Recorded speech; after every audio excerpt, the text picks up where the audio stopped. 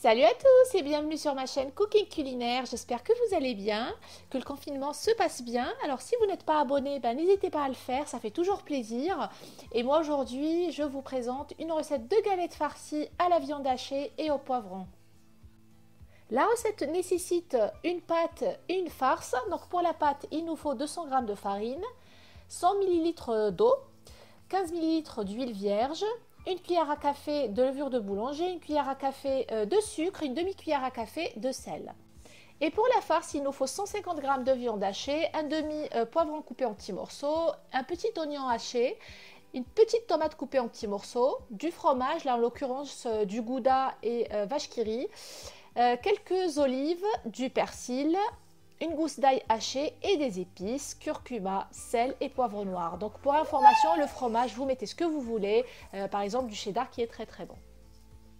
Je commence par la préparation de la pâte et euh, donc dans un saladier, je vais tamiser la farine. Ensuite, j'ajoute le sel et le sucre et je mélange les euh, ingrédients secs. Ensuite, j'ajoute l'huile je forme une petite fontaine, je, verse l'huile, je mélange le tout et ensuite je vais bien frotter avec les mains pour que euh, la farine s'imprègne de, l'huile tout simplement. J'ajoute enfin euh, la levure de boulanger, je mélange et ensuite l'eau et je forme une boule. Donc l'eau, après, ça dépend de la farine. Des fois, ça absorbe très bien, des fois moins bien. Euh, donc on met pratiquement 100 ml, on ajoute un petit peu si nécessaire. On va pétrir un tout petit peu la pâte, on forme une boule, on la laisse de côté reposer euh, euh, environ euh, une demi-heure.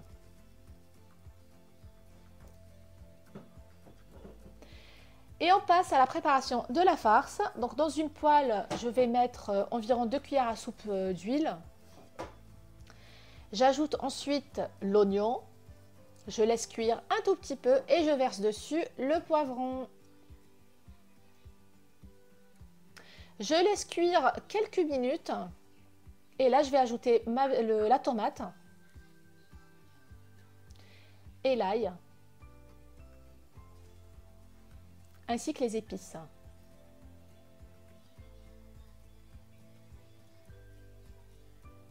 Je mélange tout ça et je laisse cuire euh, allez, quelques minutes. Après, j'ajoute ma viande hachée et là, je laisse 5 à 10 minutes. Et pour terminer, j'ajoute le persil et les olives coupées en, petits morceaux. Une fois que la farce est prête, on va la réserver, on va la laisser refroidir et euh, on va façonner des boules de pâte pour les aplatir et les faire cuire euh, en forme de galette. Alors moi je les ai pesées les boules euh, environ 60 grammes. Après si on veut des, grandes galettes, ben, on peut aller jusqu'à 80-90 grammes de pâte.